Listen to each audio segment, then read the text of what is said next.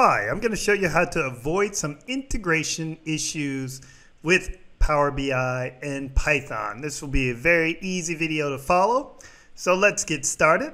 So first what I want you to do is find out what environment you are using in Power BI. So most of you are not going to be using um, any new environments if you just install um, Python through Anaconda and you're just getting started.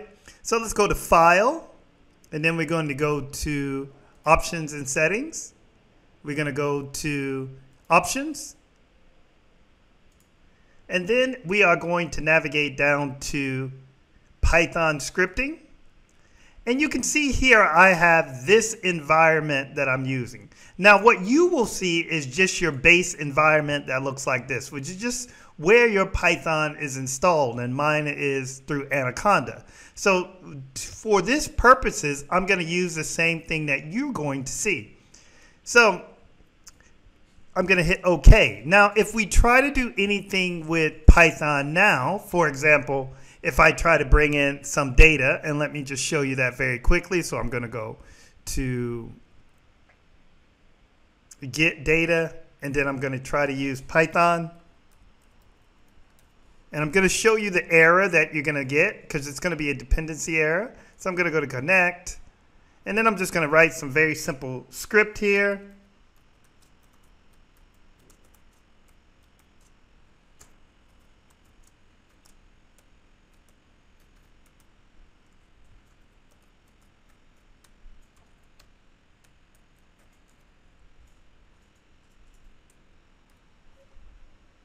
And you can see your environment is here. So that's your base environment.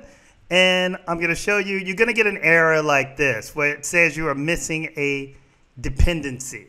What we, we need to activate that environment. So remember we're using the base environment. So what I'm going to do is I'm going to open up an Anaconda prompt, which gives me access to my Python. And then I'm going to write, so what I'm going to write here is conda activate.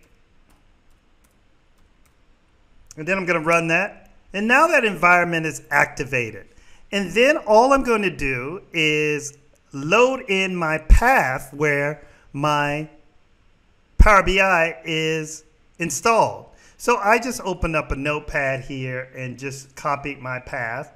And all you're going to do is copy your path where you have it installed. And I'm going to press Control V and you can see that's in quotations.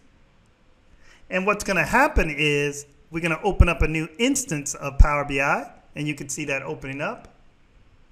And now this will be an activated environment. So let me close this. And I'm going to use the same code that we used before. So let me close these. Now that that, that instance of Power BI is updated, I'm going to get data. I'm going to go to more and I'm going to use my Python script. And I'm going to go to Python.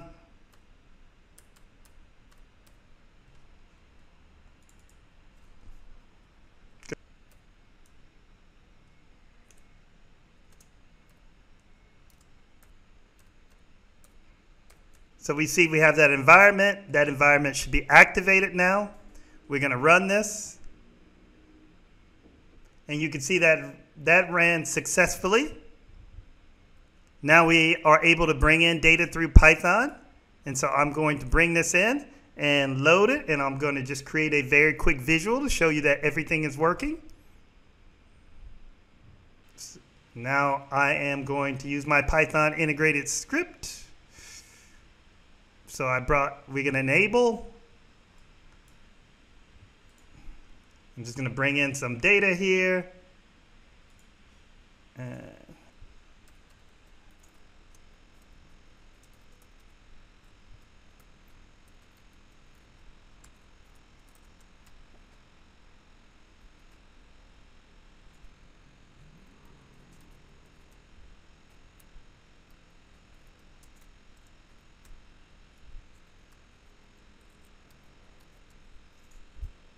Violin wrong, so let's run this. Violin plot.